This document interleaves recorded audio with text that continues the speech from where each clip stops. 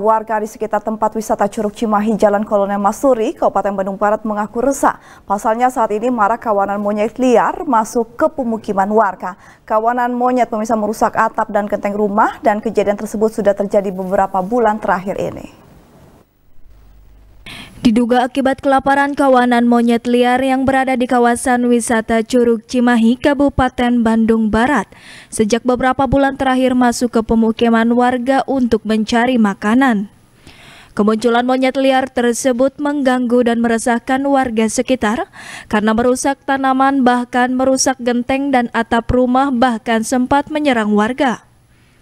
Warga Curug Cimahi mengaku resah pasalnya kawanan monyet tersebut mengancam keselamatan warga dan khawatir menyerang anak secara tiba-tiba.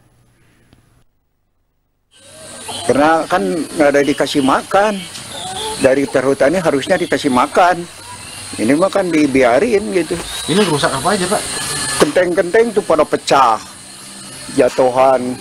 Kadang-kadang dibuka sendiri itu teh mau masuk ke rumah dibuka dari kenteng. Pak, dengan ada kejadian harap khawatir nggak Pak? Ya khawatir sebetulnya.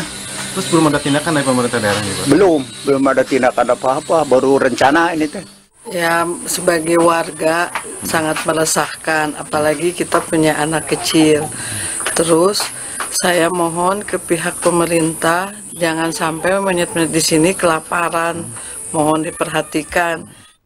Warga berharap pihak terkait segera turun tangan agar tidak jatuh korban akibat kawanan monyet yang masuk ke pemukiman warga.